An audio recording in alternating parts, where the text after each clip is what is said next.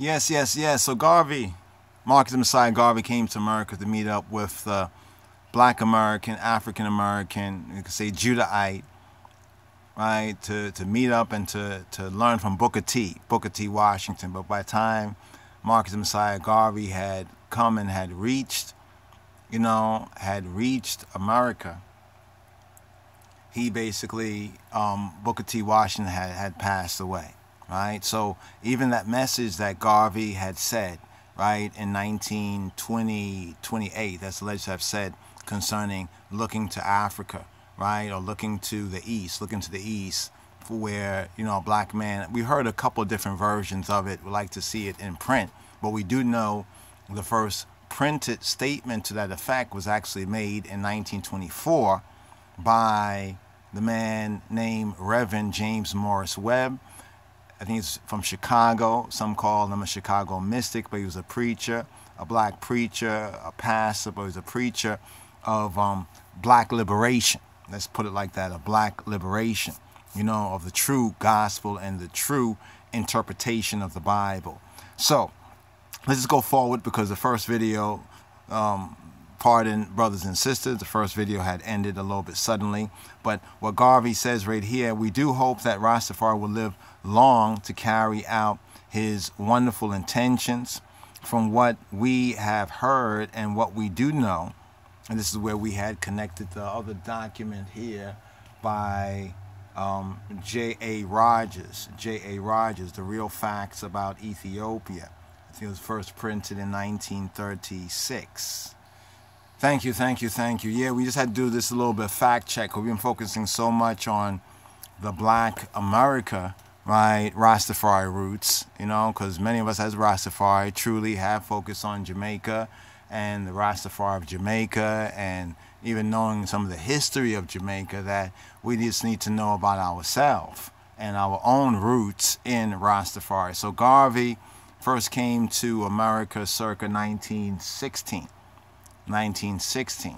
Came to America roughly around 1916, arrived after Booker T. Washington had died, and um, was invited by Booker T. Washington. He was impressed with the work that Booker T. Washington had did and sought to expand the same, you know, well-doing and works with his people, our people in Jamaica, yet the whole mail fraud thing and everything that happened, he was deported in 1927. So it was a year after that that he first made that proclamation concerning looking to the east, concerning the king and the black king and the day of liberation. Some some have it as the day of liberation as a second part of the look to the east, look to Africa. So we've heard various different versions of this, but we are able to look at the documented statement of the first proclaimer,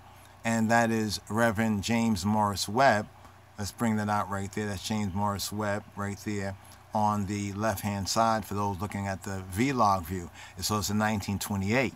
So what we heard Priest Isaac in the Truth of Rastafari state was that it was March 1st, if we are correct, 1928 in a particular park. Didn't get the full name, but it was a certain park that he proclaimed this in 1928. So many um, Jamaican or Rastafari of Jamaica and others would say that, well, this is when this word was first proclaimed that gave the connectivity to Rastafari and don't say, well, the Rastafari movement began then. But they are incorrect with that because Rastafari movement, because they began with the movement of Rastafari, the man, Rastafari, the first Rastafari is the Rastafari of Ethiopia, Lij Tafari, that man child growing up, coming to the full manhood and stature that we know as Rastafari, and he became, you could say, Rastafari, the title of Ras or Prince or Head, in circa 1916. 1916. We know this from the autobiography of His Imperial Majesty, the Rastafari, Kedemawi, Haile Selassie. Just to point out some of those basic facts right there. So in 1924, I think September 20, 25th, 1924, and to heal up Rastafari TV, Fanai, Sunlight, Sight Media, I Digital Angel, who has built a platform for us as Rastafari. Rastafari TV It's on the Rastafari TV page and site and platform. The article will go into that a little bit, a little bit more in detail. But as we said, this is a basic kind of an overview, basic overview, a, a context, right, to put the important facts of Rastafari in better context. So, first of all, Rastafari does not begin in Jamaica, but in Ethiopia. Jamaica becomes an important lighthouse, true indeed, of Rastafari. But even in the 1920s, it has been recorded that there was the first church of Rastafari in Louisiana, New Orleans, New Orleans, New Orleans, New Orleans, Louisiana in the 1920s. And kind of interesting because on, on my personal um, parental father, my father's side, my patriarch side, my roots go back to Louisiana, New Orleans, and I think that's interesting. My mother's side is the Geechee Gullah, right? The Geechee Gullah Nation, right? The Georgia Sea Island. So, in a sense, we are island people as well. You see, when we don't know these things, then COINTELPRO can divide and conquer and confuse us and play this tribal game to tribal war to get us to destroy each other or to say that you're not real and you're not real and so forth and so on, instead of recognizing what our respective reality is, especially our, our reality in Rastafari and Rastafari. But let's just go through this right here. We began in the first uh, video right? The first part, this is the second part here, going back to what was written in The Black Man in Kingston, November 8th, 1930. So, roughly six days later, Garvey said these words here We do hope that Rastafari will live long to carry out his wonderful intentions. From what we have learned and what we do know, he is ready and willing to extend the hand of invitation to any Negro who desires to settle in his kingdom. We know of many who are gone to Abyssinia and who have given good report of the great possibilities there, which they are striving to take advantage of. A little note here on Abyssinia it's His Imperial Majesty said that the name of this Rastafari that said and declared that the name of the country is really Ethiopia. So you will hear Ethiopia and Abyssinia. It depends on which particular European um, perspective, you know, because different European nations. So sometimes these misnomers come to us because we get a lot of, or have gotten much information sometimes through you know, some of the European reports or the so-called white people's reports and scholarship and, you know, so just to note that right there. Next part, it says, the psalmist prophesied that princes will come out of Egypt and Ethiopia will stretch forth her hands to God. We have no doubt that the time is now come. These are the words of Marcus Messiah Garvey. Ethiopia is now really stretching forth her hands this great kingdom of the East has been hidden for many centuries, but gradually she is rising to take a leading place in the world, and it is for us of the Negro race to assist in every way to hold up the hands of Emperor Rastafari. Now, this is how Garvey's Black Man Kingston, November 8th, 1930, proclamation and publication. This is how it sums up right here. Now, even though at that time the Emperor, the King of Kings, right, that new name upon the throne of great King David is Kedemawi Haile Selassie. And just a note, heard Priest Isaac said that Haile Selassie, the name is is is um, Amharic, and he seemed to have insisted that. That is uh, factually incorrect factually it's Ethiopic, it's Ge'ez. It's a Ge'ez con construct. Haile, Haile, Le means power of. Haile means my power. If it was Amharic, it would be Yes Selassie Haile.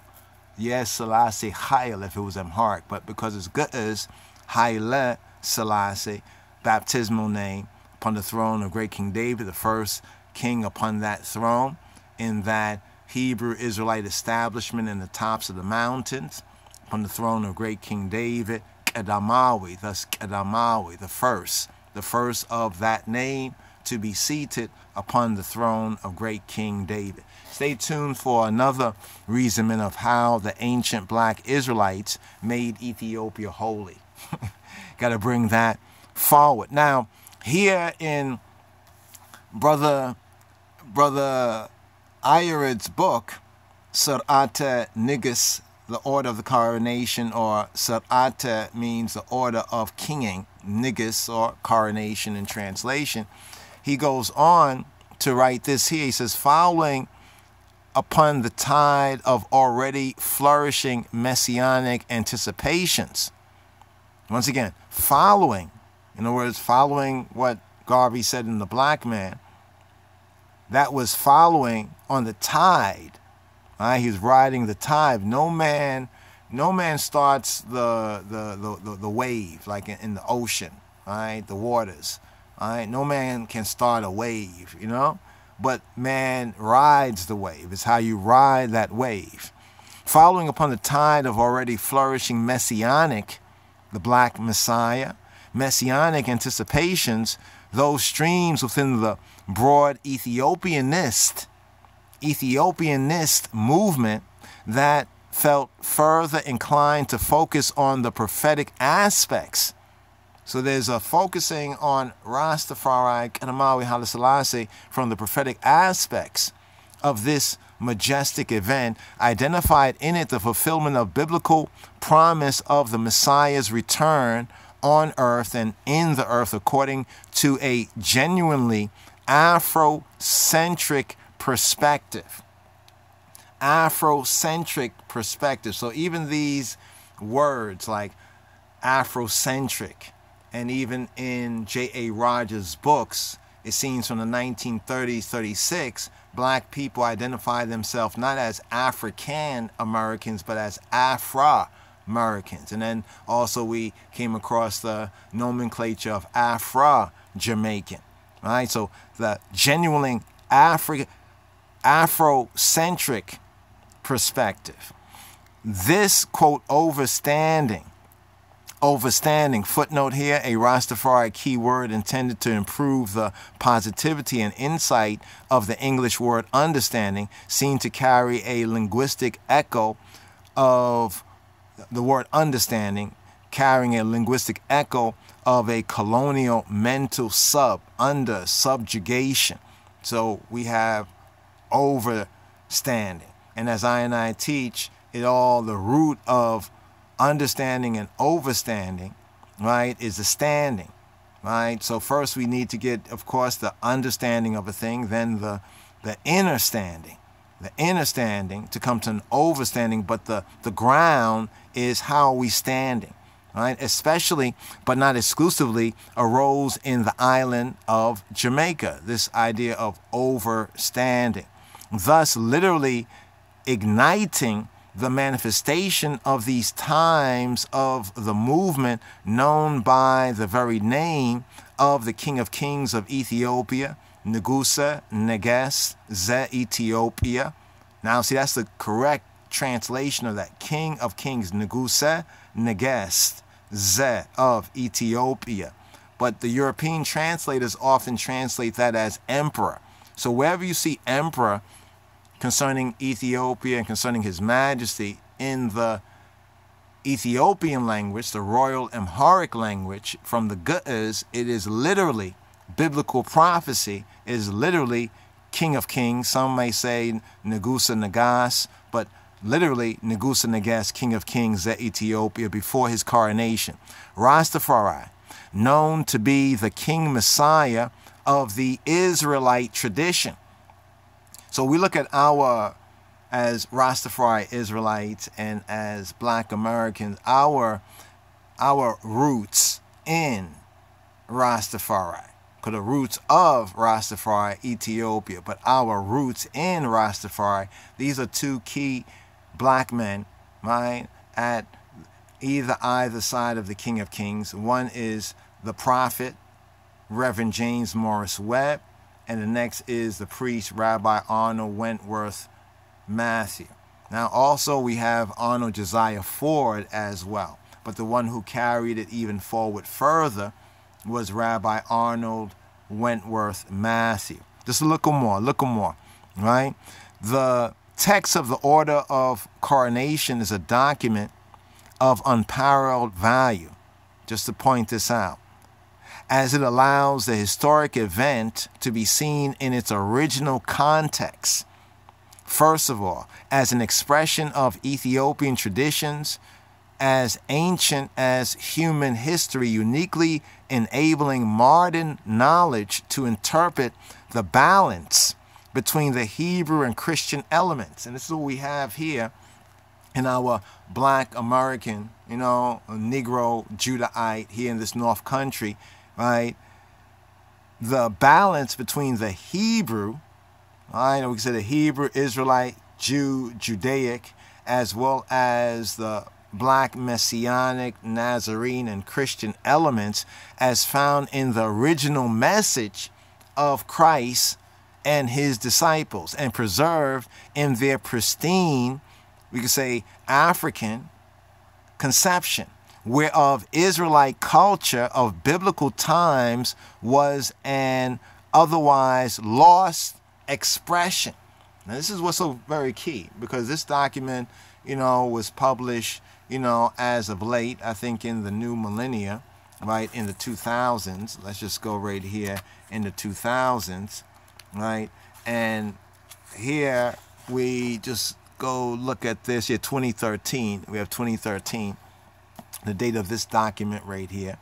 Um, and what the author and the researcher is bringing forward here right the israelite culture of biblical times the balance between the hebrew and the christian elements and the original message of christ and his disciples.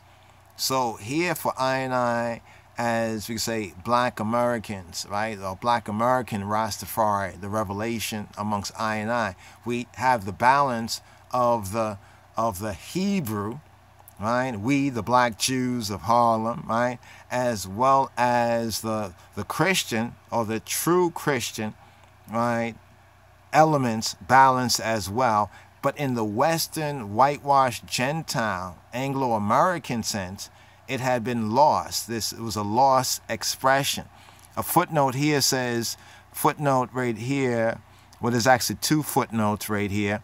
The footnote before says, for a genuine and crucial testimony of the early manifestation of Rastafari faith and movement, see the work of Elder Douglas R.A. Mack. It's a book called From Babylon to Rastafari. It was published in Chicago, 1999.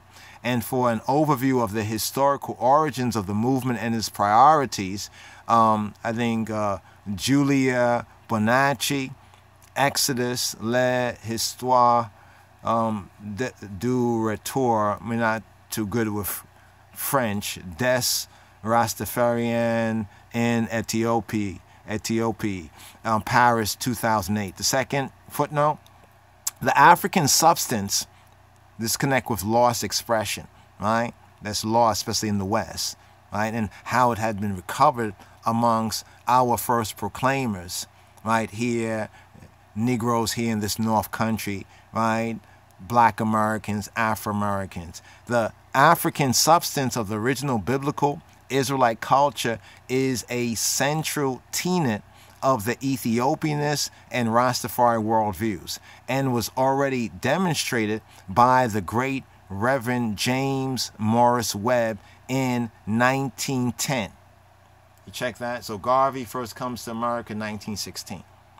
We have Reverend James Morris Webb, 1910. He had a booklet. The booklet is called, some of y'all may be familiar with this, if not, we have to get a reprint as well um, of this document for the LOJ, the Lion of Judah College and University Studies. The black man, the father of civilization, proven by biblical history. Once again, the book by Reverend J.M. Webb is The Black Man, the father of civilization proven by biblical history. And we submit that there's a lot of confusion amongst a lot of sincere seekers because these documents have not been first consulted so we can have a chronological revelation. All right, put things in the proper context. The same author, Reverend James Morris Webb, J.M. Webb, right, in 1919, he published A Black Man Will Be the Coming Universal King proven by biblical history. So we have these two documents, one in 1910 and one in 1919. 1919 document, a black man will be the coming universal king, proven by biblical history. Now, for all the black Jews and Hebrew Israelites that know the language and especially the commandment keepers, royal order, hail up to Zion Lex as well. Abdiel, Ben Levi. Check this out. What do we say in our prayers Hebraically? Baruch atah Adonai Eloheinu melech haolam. Baruch atah Adonai. Bless art thou, Lord, Eloheinu, our God, melech haolam. King of the universe, but that can also be translated as universal king. So this is a text of capital capital to say the capital of something is like the head, the ras, the rosh, right? Is of capital importance for the messianic messianic expectation within the Ethiopianist movement. As another little footnote here, this idea of an Ethiopianist movement, many of us thought that, well, it began in Ethiopia because it's called Ethiopianist, and some say Ethiopianism, but actually it began from scholars and seekers over here in this North Country, black Americans, Negroes here in the Americas, this idea.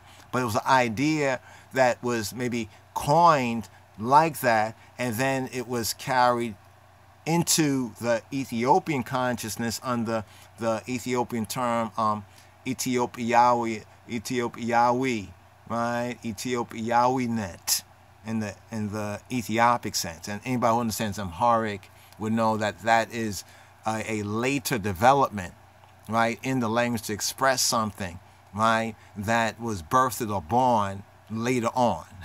in other words. So, a text of capital importance for the messianic tradition or the black messiah expectation within the Ethiopianist movement and for the consequent early Rastafari identification of the King of Kings of Ethiopia, Ngusa Nagase, Ethiopia, as the crowned Messiah. This is from the notes here, and we would just add to that the crowned, the anointed and crowned. It's important because the anointing of the king, based on that Israelite tradition, this is where we know the true Moshiach, the true Messiah, because Messiah Hebraically from the root means anointed. An interesting discussion on the centrality of the Israelite identification among specific Ethiopianist groups and thinkers in the West. And we say the West, we're saying North America, right? We're saying the Caribbean. We're saying also South and Central America as well. Ethiopianist specific Ethiopianist groups and thinkers in the West is that of, and this document, you've heard us speak about this before, and we're speaking about this again by Howard M. Brotz.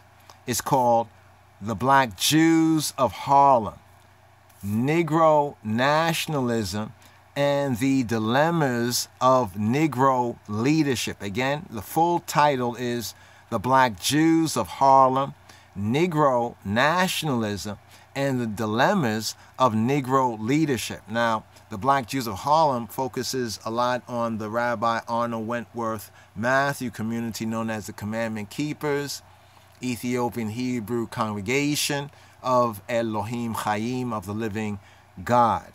This was published in New York, 1964, but is based on researches that go all the way to the 30s and even to the former movement before that, the Moorish Zionist, right, Jews, the Moorish Zionist um, Jews. You know, that link right there as well. Look more here for a general discussion of the differences between ancient Israelite culture in its African setting. This is a, a, a very good point of note here. Ancient Israelite culture in its African setting, especially east of the river now, and modern Judaism, another reference here, see also Kohana Michael Mikael ben Levi, Israelites and Jews, the significant difference by Beer publication 1997 1997 now there's there's some more here but we're just going to conclude this particular section that we began off with right here. This particular section um, where are we along this order right here? Okay boom. Furthermore as a natural consequence the context is the rejuvenating message of redemption, the rejuvenating message of redemption and liberation that the event, speaking about the coronation of the Rastafari Kedemawi Haile Selassie, right, reawakened through its sheer magnificence, thereby inaugurating a season of moral expectations established on principles of universal justice and equal rights, or we'll say human rights, according to what the Bible indicates and foretells, what the Bible, the scriptures, rightly understood, rightly expressed and explained, indicates and foretells concerning the time the ancient prophets knew as, quote, the days of the Messiah, end quote. The days of the Messiah. And to put it in the context of the movement of our peoples, the days of the black Messiah.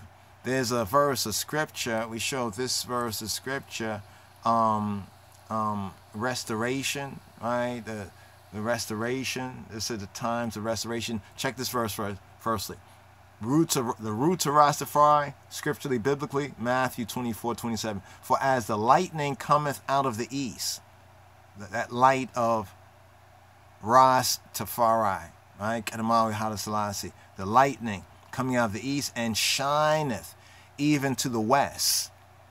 So shall also the coming of the Son of Man be. Now, these words here are often in Christianity associated with um, right? Um, the the second advent, right, of Christ, right, or as we would say, Christ in His kingly character. Boom, there we go.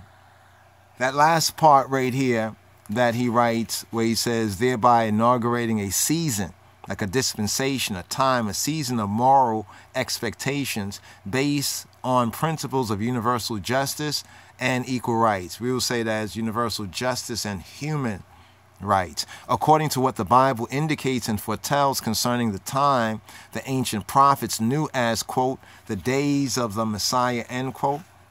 And to put it in today's context, the days of the black Messiah. Here's the verse right here linking this Acts 3 and 19 Repent ye.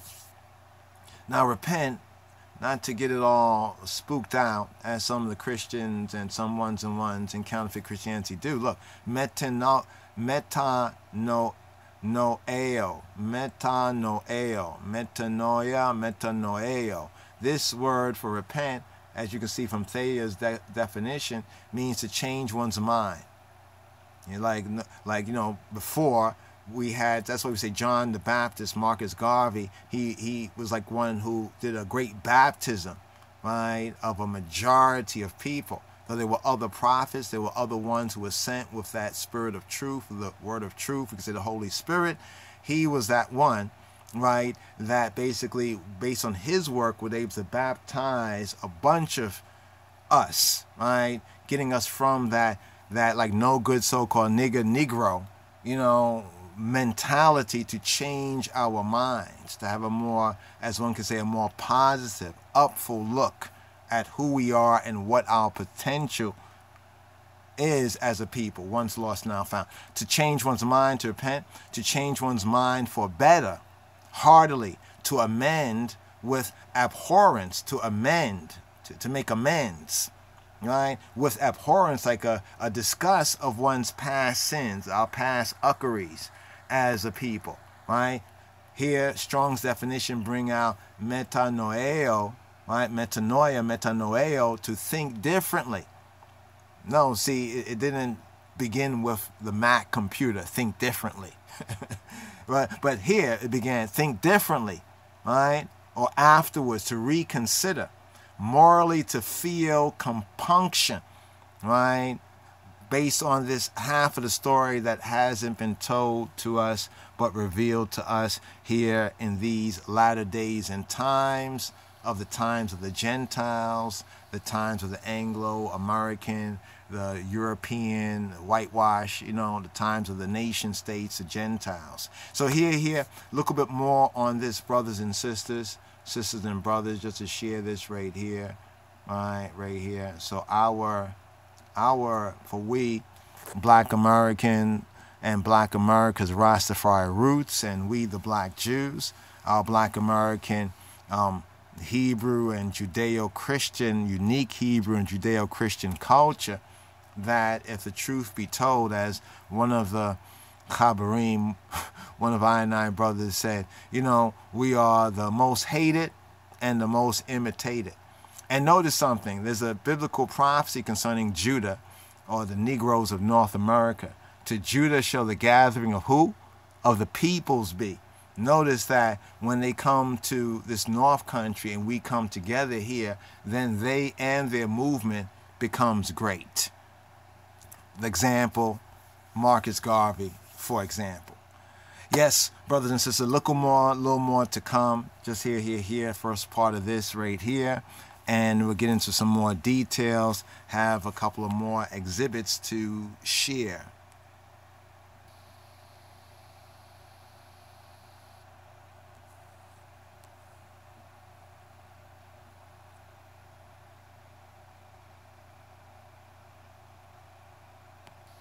Oh, P.S. Reverend James Morris Webb, Reverend J.M. Webb, or Reverend James Webb as he's known, and this you can find at Rastafari TV, Site Media. Um, uh, Charles Price, he, he, he, writes this in Becoming Rasta, Origins of Rastafari Identity in Jamaica, page 47. He says, Perhaps some people confuse Garvey's ideas with those of Reverend James Webb who in 1924 pronounced the coming of a redeeming, redeeming, look to Africa where a black man will be crowned king. In him you will find a redeemer. These are the words that the first proclaimer, we could say on record, before Garvey. So Garvey caught this proclamation and he continued to proclaim it to people who would not have heard it, right, in Jamaica and elsewhere. Right? But perhaps some people confuse Garvey's ideas with those of Reverend James Webb, who in 1924 pronounced the coming of a redeeming black king in a speech delivered in Liberty Hall. In Liberty Hall. So you can see this right here, Universal King. Right, just to zoom in on that right? Negro Universal King with woolly hair is coming to rule the world, proven by biblical history, right? And also Universal Negro King coming to rule the world. These two exhibits right here, right? The Negro characters in the Bible, right? So when we hear black people saying that, oh, they, they, they're still in this whitewash, it's because these works have been suppressed or distorted or misinterpreted, right? Most hated, right? Most imitated. Jesus was a Negro by blood, right? Linking even with the Kemetic, you know, community on the level. King Tut was a Negro by blood, and it's interesting, even to this very day, there's ones and ones who still are trying to distort, you know, what's so clear and evident even when looking at ancient Egypt. King Solomon was a Negro by blood, right? This is the brother right here, Ethnology of the Bible. Elder J.M. Webb.